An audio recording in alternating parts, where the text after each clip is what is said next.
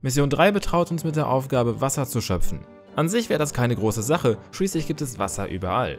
Außer natürlich auf dieser Karte, hier gibt es nämlich nur auf einer Insel Flüsse und die gehören schon jemandem. Genauer gesagt dem Bewohner dieses Schlosses hier. Sobald ihr ihn gefunden habt, sollt ihr 128 Goldbarren sammeln und zu zwei markierten Orten bringen. Auf dieser Insel gibt es aber keinerlei Bodenschätze, wir müssen also mit mehreren Inseln arbeiten.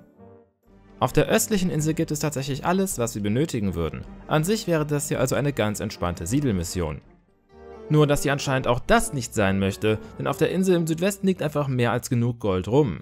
Unsere Aufgabe beginnt und endet also damit, dieses Gold zu transportieren.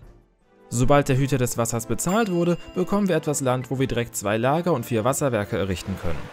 Dann dauert es auch nur noch ein paar Minuten, bis wir gewonnen haben. Diese Mission ist aber leider Teil eines Trends zu sehr schizophrenem Missionsdesign in diesem Add-on.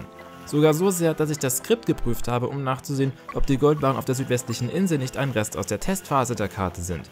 Sind sie aber nicht und ohne sie hätte diese Insel auch keine Existenzberechtigung. Wir haben hier also eine Siedelmission, die man nur verlieren kann, wenn man versucht, ohne das Gold Wasser zu schöpfen. Was okay ist, aber dann verstehe ich nicht, wieso man den Aufbauteil auch optional macht. Wenn ich es nicht besser wüsste, würde ich sagen, diese Map stammt von einem zukünftigen Siedler 2022 Entwickler.